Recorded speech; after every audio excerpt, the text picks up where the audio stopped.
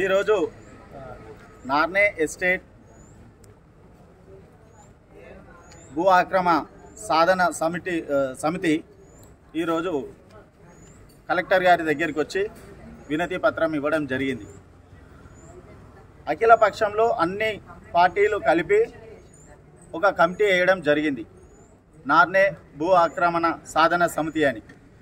ఈ సాధన సమితిలో అన్ని పార్టీలలో వచ్చి ఈరోజు కలెక్టర్ గారికి ఇచ్చిన వినపత్ర వినతి పత్రం ఏంటంటే గత ముప్పై ఐదు సంవత్సరాల నుంచి పరాయి రాష్ట్రభవన్ దగ్గర తెలంగాణల ఉన్నటువంటి రైతులు అనుకోండి జవాన్లు అనుకోండి బానిస బతుకులైనవి ఈ బానిస బతుకుల నుంచి విముక్తి కల్పించాలనేది కలెక్టర్ గారికి విన్నవించుకుంటున్నాం.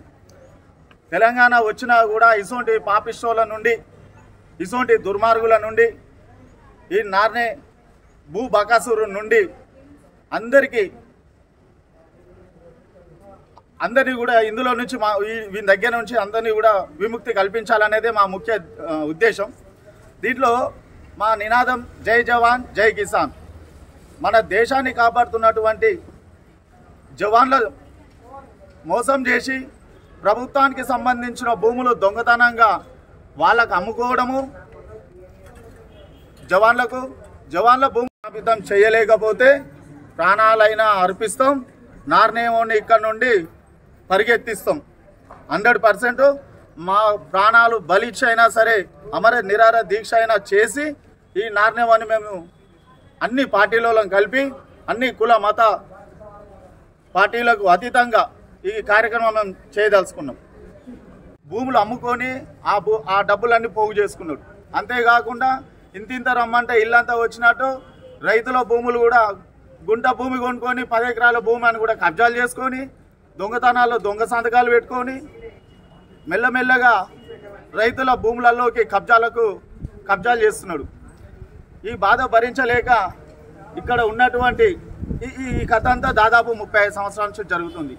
నేను గత పద్నాలుగు సంవత్సరాల నుంచి ఏకదాటిగా ఈ పోరాటం చేస్తున్నా. నార్నే బాధితుల సంఘం గతంలో పెట్టిన ఈరోజు అన్ని అఖిల పక్షంలో ఈ కమిటీ వేయడం జరిగింది. ఈ కమిటీ కూడా లాస్ట్కు విరక్తి చెంది విరక్తి చెంది ఈ అన్ని పార్టీలతోని నేను సమావేశమై అన్ని పార్టీలకు ఒక మాట నేను చెప్పడం జరిగింది. ఇంకా నాకు ఓపిక లేదు. ఇక నేను అమర నిరార దీక్షకు పూనుకున్నా అని చెప్పేసి అన్ని పార్టీలలో చెప్పడం జరిగింది.